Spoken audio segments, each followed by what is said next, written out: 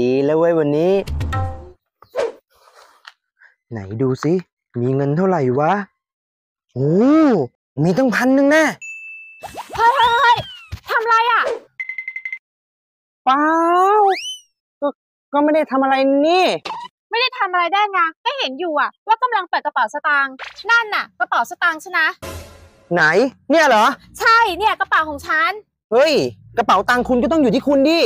นี่มันอยู่ที่ผมก็ต้องกระเป๋าตังค์ผมดิ เฮ้ยมั่วละ นี่ในกระเป๋าเนี่ย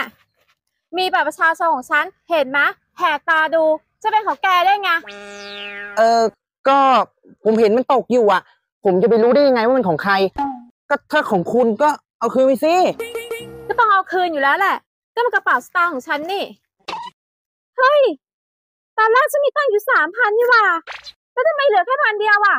แกเอาเงินของฉันไปเหรอ เฮ้ยจะบ้าเหรอ ผมไม่ได้เอาไป จะไม่ได้เอาไปได้ไง ก็เมื่อกี้ฉันเห็นอยู่อะว่าแกเปิดกระเป๋าสตางค์ของฉันถ้าไม่ใช่แก แล้วใครจะเอาไป เฮ้ย ผมไม่ได้เอาไปจริงๆ ตอนผมเปิดอยู่มันก็มีอยู่แค่พันเดียวนั่นแหละ จะมีพันหนึ่งได้ไง เงินฉันมีอยู่สามพันฉันจำได้ เอาเงินฉันคืนมาเดี๋ยวนี้นะ เฮ้ย จะให้ผมคืนคุณได้ยังไง ก็ผมไม่ได้เอาเงินของคุณไป แกนั่นแหละต้องเอาไป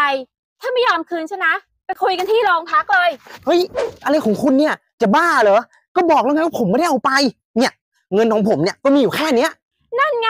สองพันพอดีเลยเฮ้ยเฮ้ยเฮ้ยไม่ใช่นะนี่เงินผมอาเงินฉันคืนมานะ